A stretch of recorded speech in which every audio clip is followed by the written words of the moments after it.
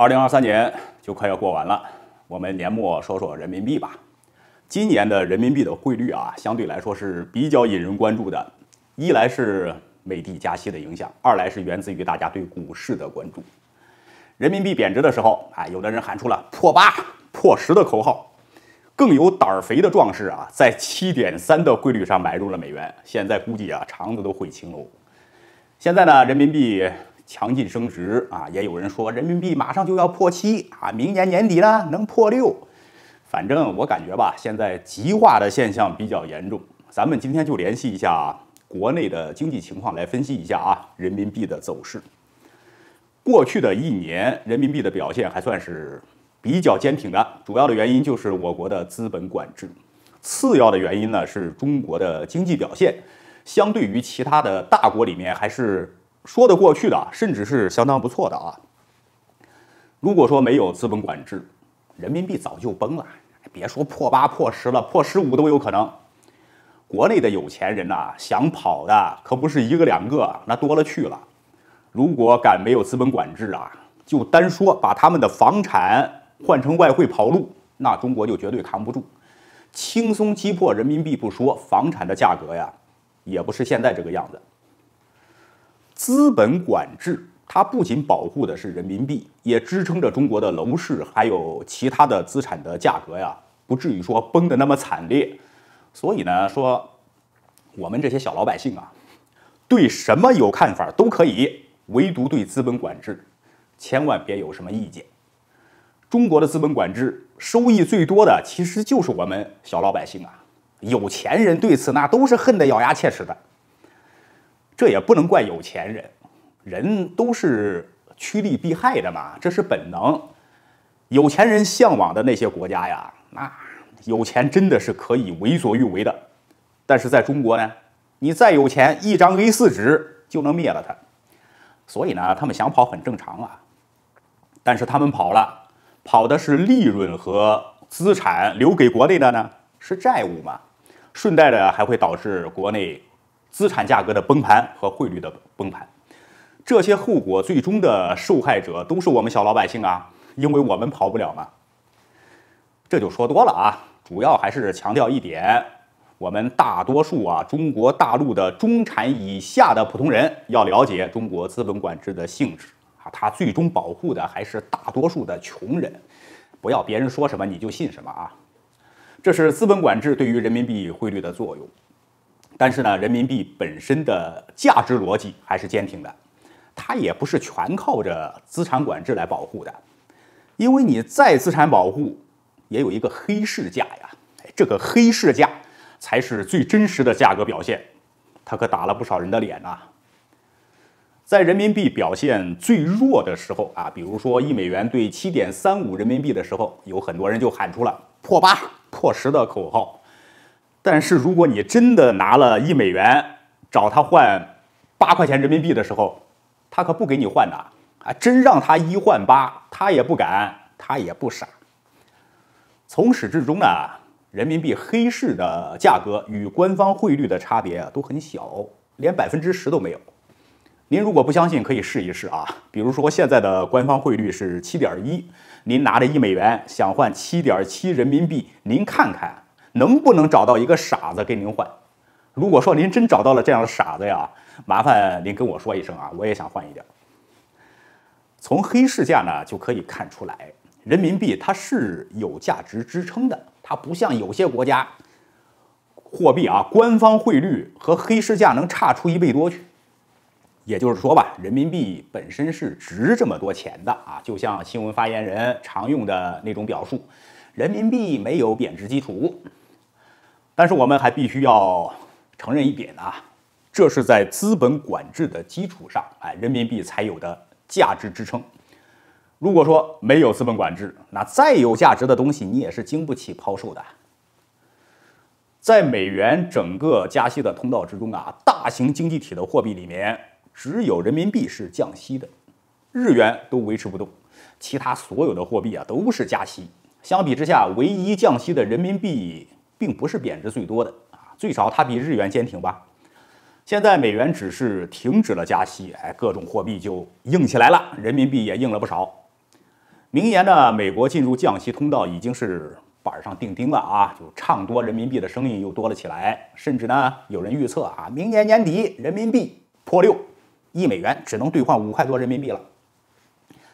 真的是这样吗？我对此呢是保持谨慎的态度。我的看法是，明年人民币升值啊，这是正常的，但是不会升得太多，甚至呢，短期反向贬值也有可能。我觉得吧，我们看人民币的走势啊，你可不能只盯着加息降息来看，这不是最主要的驱动因素。人民币这玩意儿啊，归根结底是为了中国的经济服务的。只要说中国的经济需要，让它升它就得升，让它贬它就得贬，这才是最根本的。我们看明年的人民币走势啊，应该盯着中国明年的经济表现到底。允不允不允许人民币大幅升值？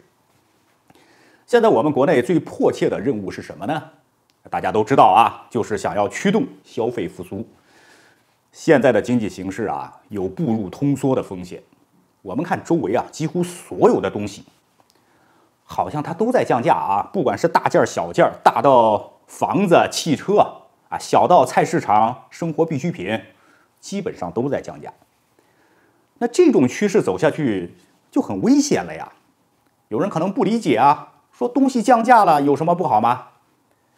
当然好，但是当你的收入也同时下降的时候，那就不好了。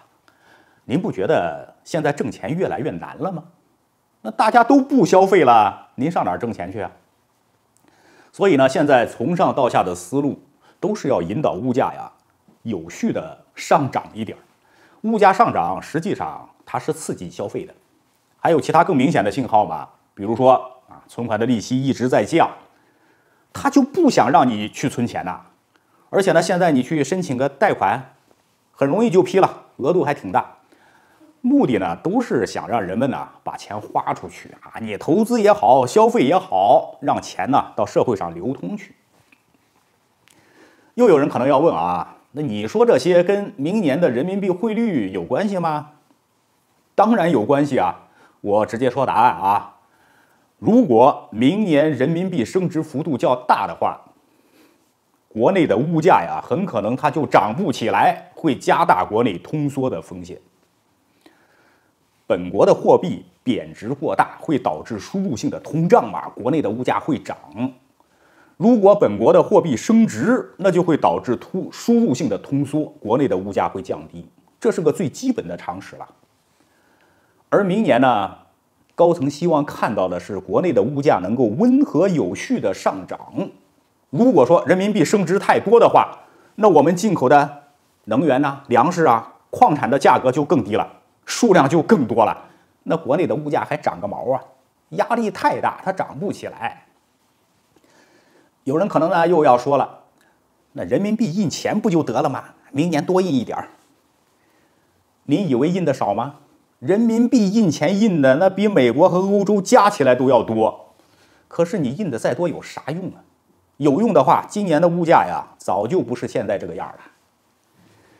所以呢，我觉得吧，看明年的人民币有多大的表现，我们不妨啊从国内的物价来做个参考。